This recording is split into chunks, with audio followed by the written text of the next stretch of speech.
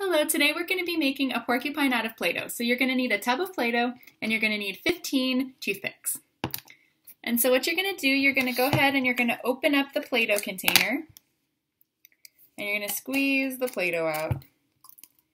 And so you're going to have your, your child, you're going to have them make, squeeze the Play-Doh in both of their hands, squeeze it nice and tight.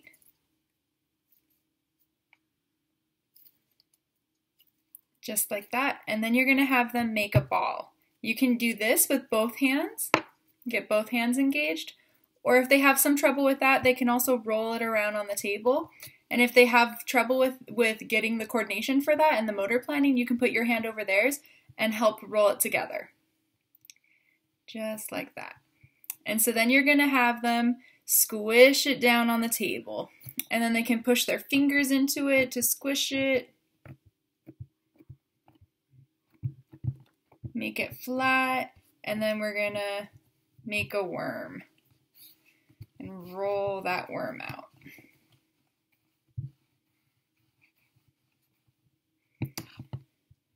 And then put it together and squish it.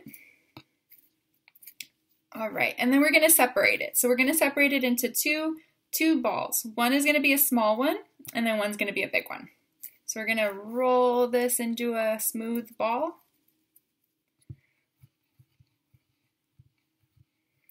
There we go. And then we're going to take this one and we're going to roll this one as well into a smaller ball. And we're going to connect them. So you can have your kids push it together like that. And so this is going to be the head of our porcupine, and this is going to be the back. And so we're going to take our toothpicks and we're going to stick them into the porcupine's back to give him his quills.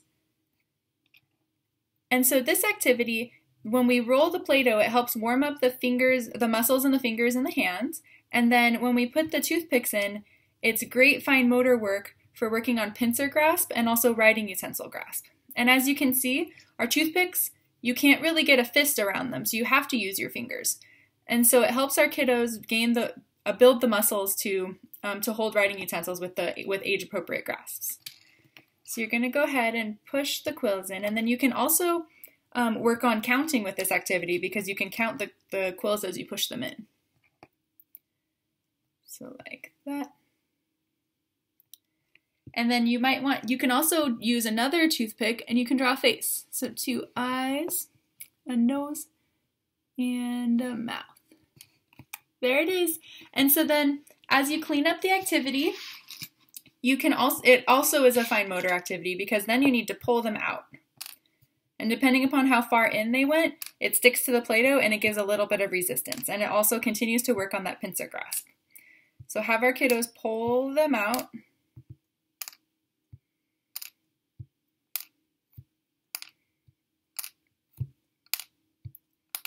Just like that. And then you can have them squish the Play-Doh and then put it back in the container, push it in with their fingers, and close it. Thank you so much and have fun with this activity.